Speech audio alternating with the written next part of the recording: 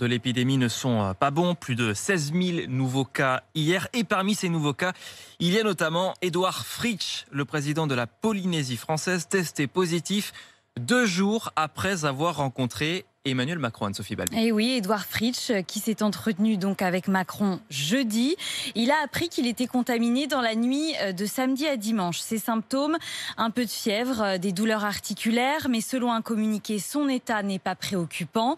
Âgé de 68 ans, le président de la Polynésie française n'a pas seulement rencontré le chef de l'État, mais aussi le Premier ministre Jean Castex, le ministre des Outre-mer Sébastien Lecornu une semaine plus tôt, et le ministre de l'Intérieur Gérald Darmanin.